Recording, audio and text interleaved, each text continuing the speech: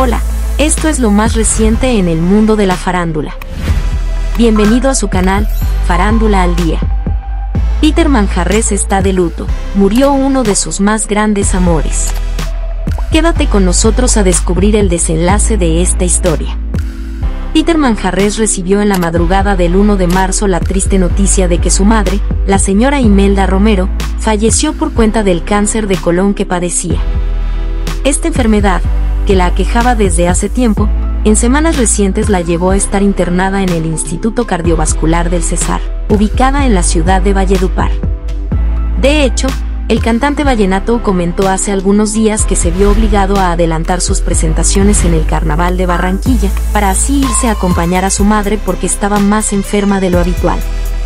Y aunque hasta el momento no se ha pronunciado sobre la muerte de su madre, fue Tata Becerra, su esposa, quien dejó un corto mensaje a través de redes sociales en el que, además, nombró a sus hijas.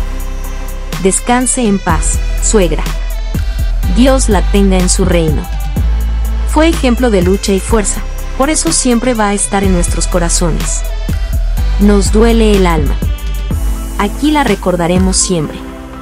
Su le manda a preguntar si alcanzó a comer y si se tomó la pastilla. Nana me preguntó que si ya está con papá Dios y Vale está muy triste con su partida.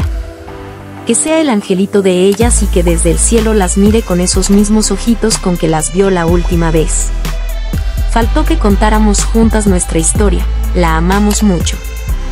Gracias por enseñarnos tanto, escribió la pareja de Kiro Manjarres. De igual manera, desde la organización del Festival Vallenato se le enviaron palabras de apoyo al intérprete de 48 años, uno de los mayores exponentes del género. Nuestras más sinceras condolencias a Peter Manjarres por el fallecimiento de Imelda Romero Porto, su señora madre. Un abrazo y toda nuestra solidaridad al cantante y a toda su familia en este duro momento. Que descanse en paz, se lee a través de una publicación que hicieron en Twitter. Incluso, el periodista Arturo Alfaro mostró que en la sesión de este miércoles de la Asamblea Departamental del Cesar se guardó un minuto de silencio por la muerte de la madre de Peter Manjarres. La molestia de Peter Manjarres con colegas que no le ayudaron. El cantante vallenato presentó en el ya tradicional parrandón vallenato del Carnaval de Barranquilla el lunes 20 de febrero.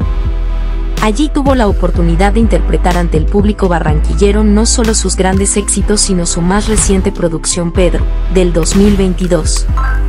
Sin embargo, no todo salió como el artista esperaba ese día.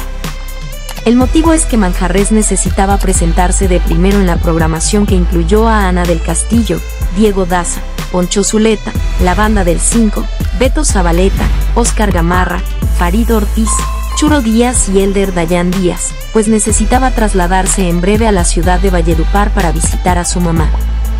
De acuerdo con el portal especializado del género blog Vallenato, Peter Manjares y su equipo le pidieron a uno de los primeros artistas en la lista del evento que intercambiara su lugar con él por su situación personal. Sin embargo, esta se habría negado cuando subió al escenario para cumplir con su compromiso, manifestó su molestia frente a lo ocurrido tras bambalinas en un video recogido por la misma fuente. ¿Quieres más contenido como este? Dale al like y suscríbete, activa la campanita para mantenerte al tanto con las últimas novedades del mundo de la farándula.